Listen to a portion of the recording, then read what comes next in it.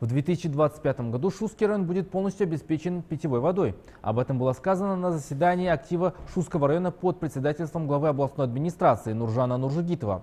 Также был рассмотрен план развития района до 2025 года и обсуждена проделанная работа в прошлом году. В частности, в ходе совещания Аким области раскритиковал проделанную работу. Фактически в районе не освоено 412 миллионов тенге бюджета прошлого года.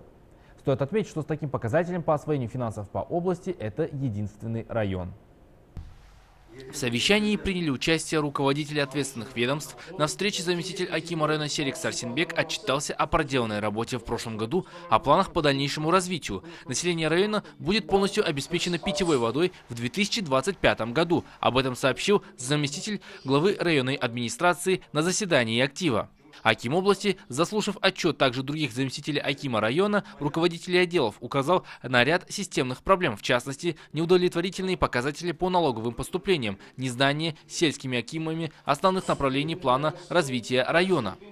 Также в районе до сих пор нет ни одного молокоперерабатывающего предприятия. Ответственные лица не предпринимают никаких мер по этому вопросу. Еще один проблемный вопрос – около 900 действующих малых предприятий прекратили свою работу, сказал Нуржан Нуржигитов. Глава региона раскритиковал также работу по охвату учеников дополнительным образованием. Глава областной администрации высказал ряд критических замечаний в адрес заместителя Акима района, руководителей ряда отделов и сельских Акимов и поручил выработать предложение по принятию дисциплинарных мер.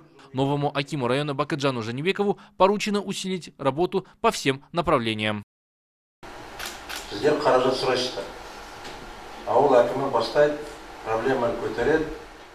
Вы просите бюджетные средства. Аким села поднимает вопрос касательно строительства и благоустройства. Выделяются деньги из республиканского, областного и районного бюджетов.